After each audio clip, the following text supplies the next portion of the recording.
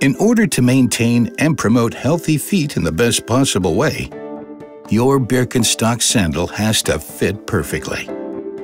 Two factors are decisive. The footbed with a perfect fit and the correctly fitted straps.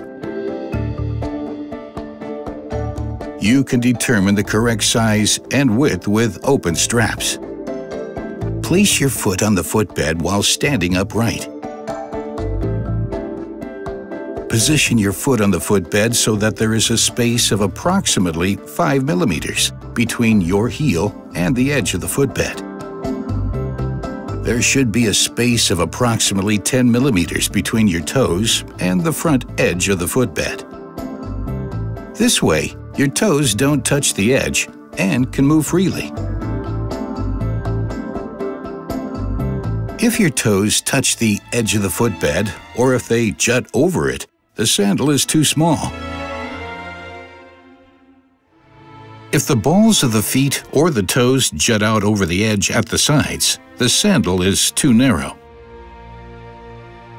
If there's too much space at the toes and the heel, the sandal is too big.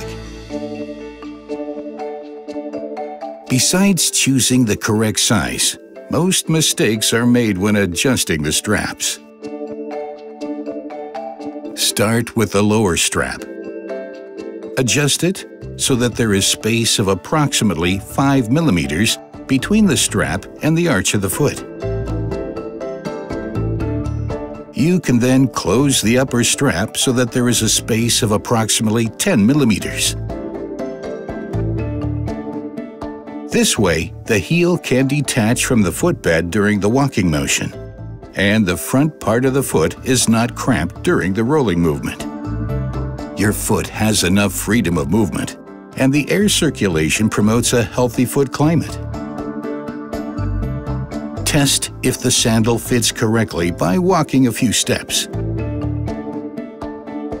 Should a strap be too tight or too loose, readjust it.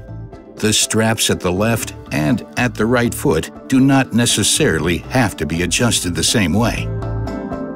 Check your straps again after a few days, as the upper can stretch a little over time.